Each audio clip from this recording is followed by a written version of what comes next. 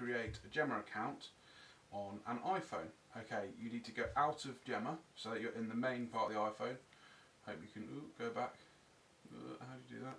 So you're in the main home page. You see all the apps are there. You go to the settings bundle. Settings. Sorry, my finger hitting more than one. Okay, and then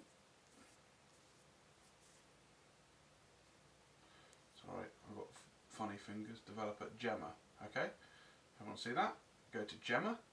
In there you put. Um, I've also seen a slightly depressive move when I put email at testerendofline.com. Anyway, that's by the by. So you've got uh, first name, surname, email address, and password. Make sure you remember the email address and password. You'll need those to log into the website. Put those details in. Go back. Go to Gemma. Uh, options. Uh, and then just push sync all data. Log in. And then you need to type in your email address and password. It needs to be the same as the one that's on your phone. Uh, mine is uh.